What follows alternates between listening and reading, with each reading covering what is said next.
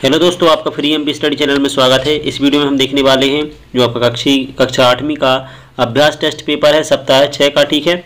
इसका सॉल्यूशन आपको इस वीडियो में मिलने वाला है तो अंत तक ज़रूर बने रहिए। इस वीडियो में हम हिंदी और गणित का सॉल्यूशन देखने वाले हैं। इसके अगले वीडियो में हम विज्ञान और समाज विज्ञान का सॉल्यूशन लेकर आएँगे, जिसकी लिंक आपको इस डिस्क्रिप्शन में मिल जाएगी, ठीक है? तो आइए हम शुरू करते हैं। यहाँ से हमारे ये कुछ निर्देश दिए गए, उनके लिए पहले देख लेंगे, ठीक है? इसके बाद में यहाँ पर हमारा प्रश्न भाग जो है, एक शुरू होता है, जो कि है हिंदी विषय का ठीक है। यहाँ पर आपके लिए निर्देश में दिया गया है कि निम्नलिखित अनुच्छेद को पढ़कर, ठीक है, नीचे दिए गए प्रश्न विकल्पों में सही विकल्प चुनकर लिखना है और तालिका में नीचे भरना है, ठीक है।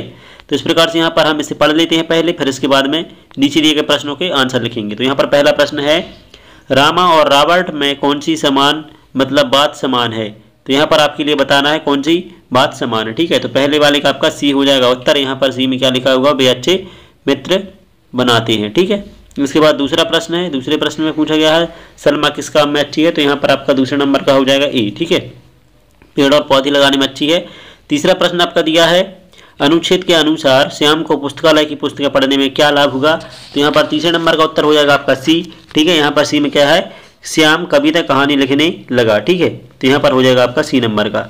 इसके बाद आगे बढ़ते हैं प्रश्न चार की ओर। प्रश्न चार में पेड़ों की पहचान के लिए सलमा ने क्या किया? ठीक है तो यहाँ पर पेड़ों की पहचान के लिए सलमा ने क्या किया? वो आपका सी नंबर का ऑप्शन में लिखा हुआ है। पेड़ों पर नाम की पट्टिका लगाई ठीक है? ये आपका सी नंबर का उत्तर हो जाएगा। इसके बाद है प्रश्न पाँच। प्रश्न पाँच में औषधीय पौधों का सबसे उचित उपयोग क्या है? तो यहाँ पर देखिए, पूछा गया है, औषधीय पौधों का सबसे उचित उपयोग क्या है? तो यहाँ पर पाँचवें नंबर में आपके जो चार विकल्प दिए गए हैं ए बी सी में से आपका बी नंबर का सही हो जाएगा, दवाइयों के लिए। तो यहाँ पर बी नंबर का आंसर आपका सही होगा। अब आगे बढ़ते हैं प्रश्न। दूसरा है, जो कि निर्देश के अनुसार दिया गया, ठीक है तो यहाँ पर है, प्राणियों के बारे में दी गई तालिका को प्रश्न पढ़कर नीचे दिए गए विकल्पों में से सही विकल्प चुनकर सही उत्तर तालिका लिखिए, जैसे कि यहाँ पर देखिए, आप देख पा रहे होंगे, यह आपका निर्देश दिया गया, ठीक है। और इसके नीचे जो है, ये तालिका दी गई है तो इसके लिए आपको पढ़कर नीचे दिए गए जितने विकल्प हैं, उनके उत्तर आपको नीचे दी गई तालिका में भरना देखिए, सबसे नीचे आपके लिए एक तालिका मिलती है, भरी, बनी हुई, इसमें आपके लिए आंसर लिखने होते ठीक है। जैसे पहले का अगर हमारा ए होता है, ठीक है तो ये भर देते हैं, जैसे इसमें सी है तो सी भर देंगे, ठीक है? इसी प्रकार से दूसरे का आपका क्या है? ए है तो ये भर देंगे। इस प्रकार से आपके लिए भरते जाना है अलग अलग विषय का। ये आपका हिंदी का विषय है इसी का सॉल्यूशन चल रहा है, इसके बाद गणित का विषय है, फिर विज्ञान और सामाजिक विज्ञान। इस प्रकार से सभी की आपके लिए वीडियो लेकर आ जाऊँगा, ठीक है? तो इसमें हम विज्ञान और सामाजिक विज्ञान को छोड़ करके गणित और हिंदी को कर रहे हैं। तो यहाँ पर हम देख चुके हैं, ठीक है? हिंदी का पांचवा क्वेश्चन हो गया था, यहाँ पर अब दूसरा निर्देश देखने वाले हैं। देखिए प्रश्न क्रमांक छः है। प्रश्न क्रमांक छः में आपका पूछा गया है कि वज़न के आधार पर तालिका में दिए गए प्राणियों, ठीक है, का सही घटनाक्रम क्या है? तो यहाँ पर आपके नीचे चार विकल्प दिए गए हैं, जिसमें आपका छठवें नंबर का हो जाए कौन सा उत्तर? सी नंबर का, ठीक है? तो ये हो जाएगा आपका सी नंबर का। इसके बाद में आपका प्रश्न दिया सात। प्रश्न सात में पूछा है, केवल शाकाहार पर जीवित रहने वाले रहने वाला प्राणी कौन है? तो आपके चार यहाँ पर ऑप्शन दिए गए हैं। इसमें शाकाहार पर कौन सा प्राणी रहता है? तो वो बी नंबर का आपका हो जाएगा, जिसमें लिखा हुआ है हाथी, ठीक है? सात का हो जाएगा आपका बी। इसके बाद आगे बढ़ते हैं। तो यहाँ पर प्रश्न है। प्रश्न क्रमांक आठ, दिया गया है कि तालिका के अनुसार वज़न की दृष्टि से सबसे अधिक और सबसे कम भारी प्राणी कौन है? ठीक है? तो यहाँ पर आपको पहले वो जो आपकी तालिका थी, उसको समझ करके यहाँ पर उत्तर देने होंगे। ठीक है? तो इसके पहले आप उसे पढ़ लें। तो यहाँ पर प्रश्न क्रमांक आठ है, जिसमें आपका सी नंबर में जो लिखा हुआ है, नीली वेल और शुतुरमुर्ग ठीक है? तो इसका यहाँ पर ये सी नंबर का आंसर होगा। प्रश्न नौ है। नौ में दिया गया है, तालिका में दिए गए प्राणियों में जलचर प्राणी कौन है? तो यहाँ पर जलचर प्राणी पूछे गए हैं। तो आपका ये प्रश्न क्रमांक नौमा है, जिसमें चार ऑप्शन दिए गए हैं। तो यहाँ पर आपका जो सबसे लास्ट में दिया गया है डी नंबर का, इसमें नीली वेल और मगरमच्छ हो जाएगा, ठीक है? जल, प्राणी। तो यहाँ पर इसके बारे में हो जाएगा जलचर प्राणी होते हैं ये। उसके बाद प्रश्न क्रमांक आपका दस आता है। प्रश्न दस में पूछा गया है, निम्नलिखित शब्दों में कौन सा शब्द हिंदी भाषा से है या हिंदी भाषा का है? तो यहाँ पर देखिए, ये रहा आपका प्रश्न। और इसमें आपके नीचे चार आपके सही विकल्प दिए गए हैं, ठीक है? तो इनके लिए देखते हैं, यहाँ पर दसवां प्रश्न है, उसका हो जाएगा आपका सी नंबर का उत्तर। तो यहाँ पर निम्नलिखित शब्द में से कौन सा शब्द हिंदी भाषा का तब वो है हाथी, ठीक है? अब इसके बाद में आपका भाग दो आता है, जिसमें दिया गया है गणित। तो यहाँ पर हम गणित के सवालों को मतलब जो दिए गए हैं, उनके आंसर सही लगाने वाले हैं। तो देखिए, यहाँ पर पहला प्रश्न दिया गया है, जिसके लिए आप यहाँ पर स्क्रीन पर देख पा रहे होंगे। ये रहा पहला प्रश्न, ठीक है? एक मोटरसाइकिल तीन दशमलव पाँच लीटर पेट्रोल में एक सौ संतावन दशमलव पाँच किलोमीटर चलती है तो यह गाड़ी एक लीटर पेट्रोल में कितनी दूरी तय करेगी? तो यहाँ पर आपके लिए इसका उत्तर बताना है, जिसमें आपके पुनः चार विकल्प दिए गए हैं, ठीक है? तो पहले नंबर का हो जाएगा बी, पैंतालीस किलोमीटर, ठीक है? तो यहाँ पर आपके लिए क्या लगा लेना है? आपका बी नंबर का उत्तर, ये पहले वाली का था। इसके बाद में प्रश्न दूसरा आता है दिया है रानी को कक्षा सातवीं की परीक्षा में छियानवे अंक छियानवे परसेंट मतलब छियानवे प्रतिशत अंक प्राप्त हुए। यदि सभी विषयों के प्रश्न, पत्रों के कुल अंकों का योग साढ़े सात सौ है, ठीक है? तो रानी को निम्नलिखित में से कौन कुल कितने अंक प्राप्त हुए? तो यहाँ पर आपके पुनः चार विकल्प दिए गए हैं, ठीक है? इनमें से आपको उसका उत्तर बताना है। तो यहाँ पर दूसरे नंबर का हो जाएगा यहाँ पर कौन सा? बी नंबर में, ठीक है? सात सौ बीस। इसके बाद में आगे बढ़ते हैं प्रश्न तीन की ओर। तो प्रश्न तीन में दिया है, पचास छात्रों में से चौंसठ परसेंट छात्रों को विज्ञान विषय पसंद है। कितने छात्रों को विज्ञान विषय पसंद नहीं है?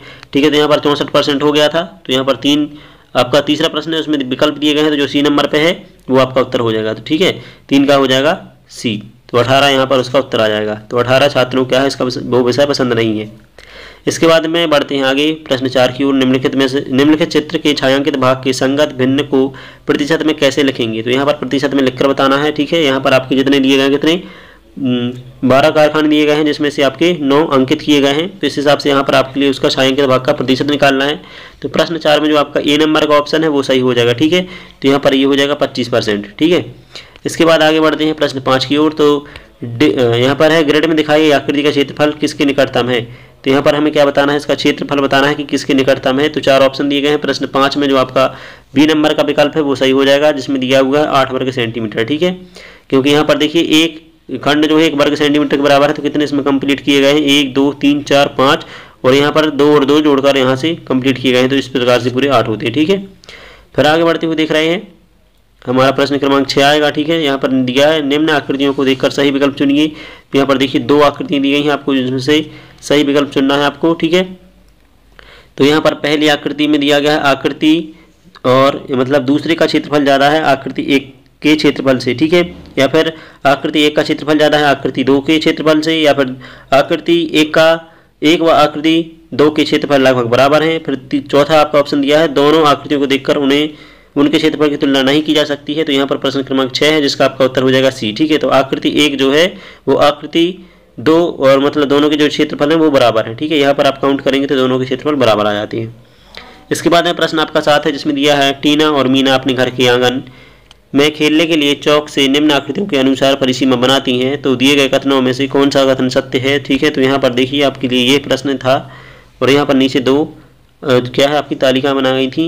तो इसके हिसाब से आपको नीचे दिए गए विकल्प जो है, ये रहे आपके विकल्प। इनको पढ़कर उत्तर देना था। तो यहाँ पर आपके प्रश्न सात का जो उत्तर हो जाएगा, ए नंबर का जिसमें दिया है, टीना के पास खेलने के लिए ज़्यादा जगह है। ठीक है? तो यहाँ पर आपको परिसीमा के अनुसार बताना है, किसके पास ज़्यादा जगह है।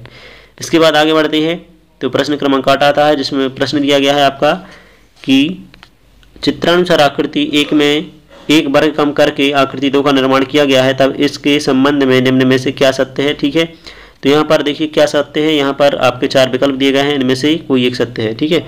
तो जो आपका प्रश्न आठ है, उसमें चार विकल्प दिए गए हैं, जिसका चौथा विकल्प आपका सही होगा, डी नंबर का, ठीक है? तो इसमें क्या दिया है कि आकृति दो का क्षेत्रफल कम, परंतु परिमाप बराबर है आकृति एक से, ठीक है? तो यहाँ पर क्षेत्रफल कम है, लेकिन परिमाप बराबर है आकृति से, आकृति एक से। फिर आगे बढ़ते हैं, प्रश्न क्रमांक नौ है कि नीचे दिए गए दो पत्तियों के क्षेत्रफल को, जिन्हें एक वर्गाकार कागज़ पर ट्रेस किया गया है देख कर दिए गए कथनों में से सत्य कथन बताइए तो यहाँ पर आपके लिए सत्य कथन बताना है, ठीक है? तो ये रहा आपका इतना प्रश्न, ये रहे आपके नीचे विकल्प, ठीक है? और आकृति को देखकर बताना है। तो यहाँ पर चार विकल्प हैं, प्रश्न नौ का जो हो जाएगा, पहला वाका, पहले वाला विकल्प आपका सही होता है, जिसमें दिया है पत्ती, आ का क्षेत्रफल ज़्यादा है पत्ती, बा से, ठीक है? तो यहाँ पर आपको इसको देखकर उत्तर देना था तो यहाँ पर आप देख पा रहे हैं, ठीक है? ये रहे आपके दोनों चित्र। फिर आपका प्रश्न आता है दस, जिसमें दिया, नीचे दिए गए आंकड़ों की माध्यक क्या होगी? तो यहाँ पर आपके लिए माध्यक बताना है, यह आपको निकालना आना चाहिए तो आपके दस में का उत्तर हो जाएगा डी नंबर का, जिसमें दिया है आपका पच्चीस, ठीक है? ये माध्यक हो जाएगा। तो इस प्रकार से इस वीडियो में आपने कक्षा आठवीं के अभ्यास टेस्ट जो आपका छः था, ठीक है सप्ताह छः का, उसका हल आपने देखा, जिसमें हिंदी विषय और गणित विषय का पूरा यहाँ पर आपको हल मिल गया है। तो वीडियो पसंद आ रही है तो लाइक कर सकते हैं, साथ में चैनल पर नए हो तो सब्सक्राइब कर लीजिए, और अगली वीडियो आपको चैनल पर कल मिल जाएगी। तो ठीक है, इसके लिए सब्सक्राइब करना ज़रूरी है। और इसकी लिंक जो है आपको इसके वीडियो के डिस्क्रिप्शन में मिल जाएगी. Thanks for watching